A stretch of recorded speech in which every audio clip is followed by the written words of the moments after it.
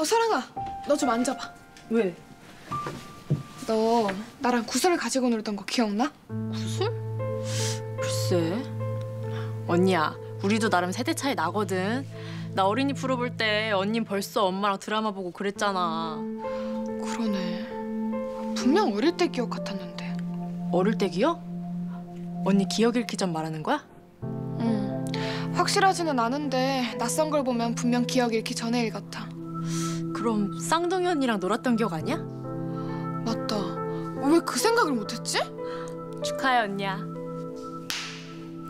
언니 어릴 때 기억 없다고 속상했었잖아. 고마워. 근데 아직 엄마한텐 비밀이야. 아직 확실하지도 않고 이러다가 말 수도 있잖아.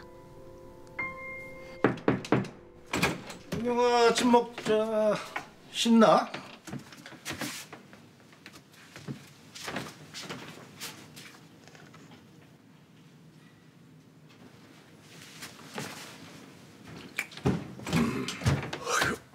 아버지, 어, 어, 자 아침 먹어라 야 근데 이거 뭐냐? 웬 여자 사진이야? 아, 그, 그, 그 그게 소개팅이라도 들어왔냐? 너 말이야 괜히 나랑 지인 씨 때문에 신경 쓰여서 무리하는 거면 이럴 필요 없다 실은 지은이 어머님께서 주신 거예요. 처제가? 네. 초등학교 선생님이고 좋은 분이래요.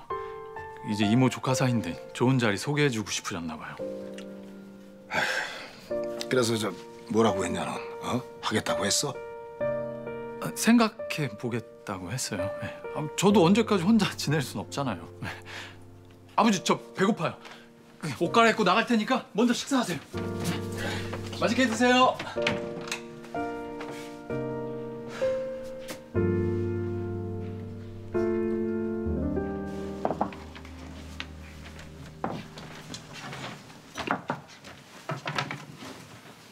도경이는요? 아, 옷 갈아입고 나온대요 도경이한테 무슨 일 있어요?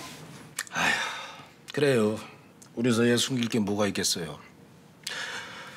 처제가 도경이한테 선을 보라고 한 모양이에요.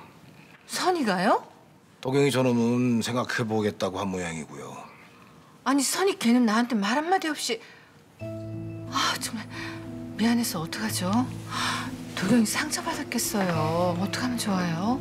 아이 뭐 저- 처제라고 나쁜 마음으로 그랬겠어요.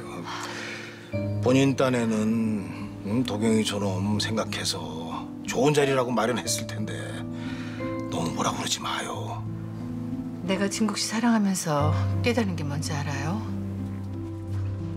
아무리 숨기고 막으려고 해도 숨길 수 없고 막을 수 없는 게 누군가를 사랑하는 마음인 거예요. 지금은 누구보다도 도경이 마음 제가 알아요. 힘들 거예요.